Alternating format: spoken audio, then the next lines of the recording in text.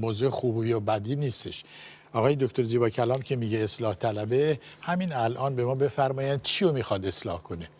می‌بینیم ما تازه به اصلاح طلب لازم, لازم نداریم. اصلاحگر لازم است.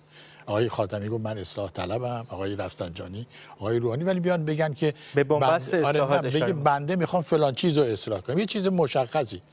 و؟ ایشون تداوم تلاش ها رو منظورشون هست در می‌دونم، ولی هیچ- یه جایی به نتیجه ولی خواهد خب بعد- که زمانش مشخص می‌دونم. ولی بعد یه برنامه بعد یه برنامه بذارین خواهش می‌کنم شما زیاد حرف. زدین آقای آقای زیبا کلام شما بین مردم ایران رو در ایران خفه کردین اینجا نمی‌تونی ما رو خفه کنین اگر اصلاح طلب هستین بگین بنده می‌خوام فلان چیز رو اصلاح کنم سوالشون این هست اگه در حد اصلاح 30 بکنی. ثانیه یعنی شما ببینید ما- که شما چی رو می‌خواین اصلاح ببینید ما گرفتاریمون این است که ایران یک ملت پرشور و خلاقی است که می‌تونه بهتر از این باشه. یه بختکی روش افتاده نمی‌ذاره این ملت بیاد وسط دنیا و بشه یکی از بهترین ملل دنیا می‌تونه بشه.